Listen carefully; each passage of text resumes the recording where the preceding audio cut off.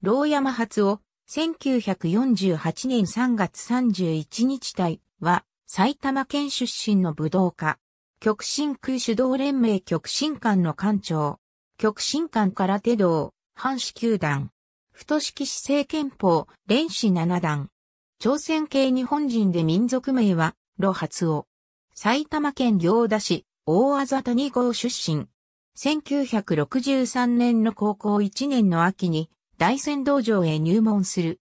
1964年4月に大仙道場は財団法人極真小学会を監視、国際空手道連盟極真会館に刷新された。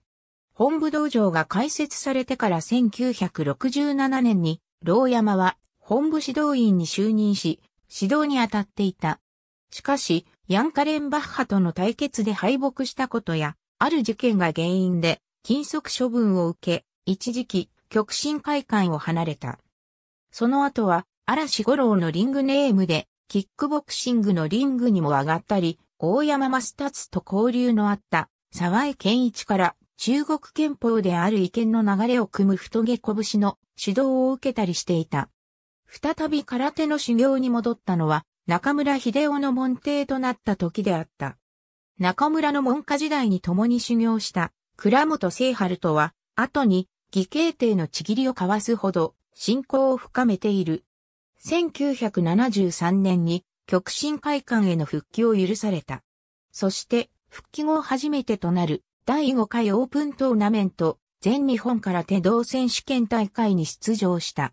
二宮上皇、佐藤勝明を下して決勝戦へ進出して対戦相手は山崎寺氏朝であった。結果は4対1の判定で、老山が初優勝を遂げた。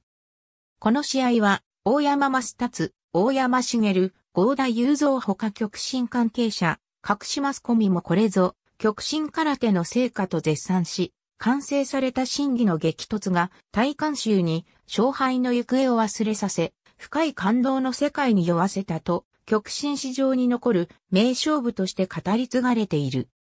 1974年の第6回全日本選手権では準決勝で、東隆に惜敗し、3位入賞となったが、翌年の第1回オープントーナメント全世界空手道選手権大会の代表に選出された。他の代表選手がアメリカ遠征に参加する中で、老山は日本に残り、稽古を続け、第1回全世界選手権に備えた。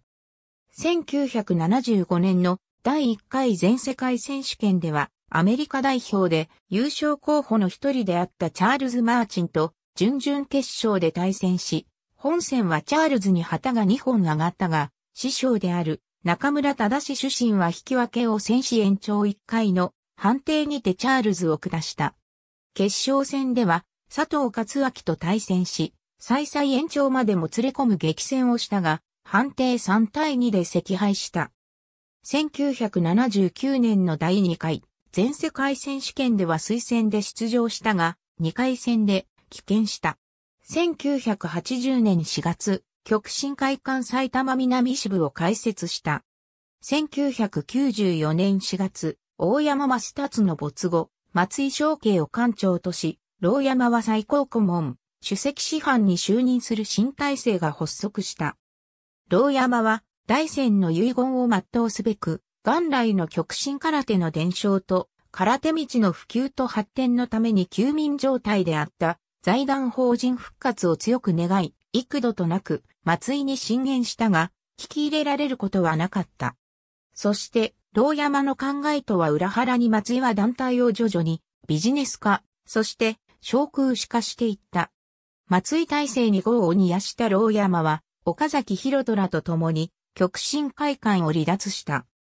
2002年12月、大戦の残した極真精神継承と遺言に基づき、財団法人を復活すべく、極真空手道連盟極真館を設立し、館長に就任した。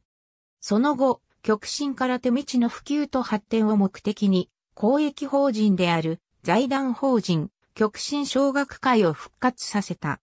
2004年4月、財団法人極真小学会より極真空手道連盟極真館球団くらいを授与される。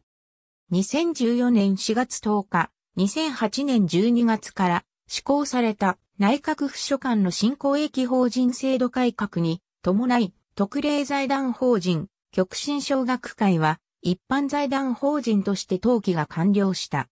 2016年4月23日、大山増達総裁の23回忌法要が五国寺にて取り行われ、参列した老山は総裁から教わった武道精神を後世に伝えていきたいと思いを述べた。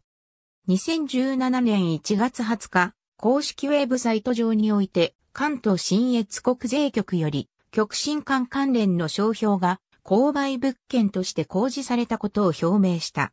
同年2月7日、副館長ほか、複数の支部長の大会に伴い、新たな体制の下で、大戦総裁の意思を引き継ぐことを使命として、活動していくことを宣言した。2021年5月2日、ウクライナ人女性と結婚したことを明らかにした。互いに再婚となる。ありがとうございます。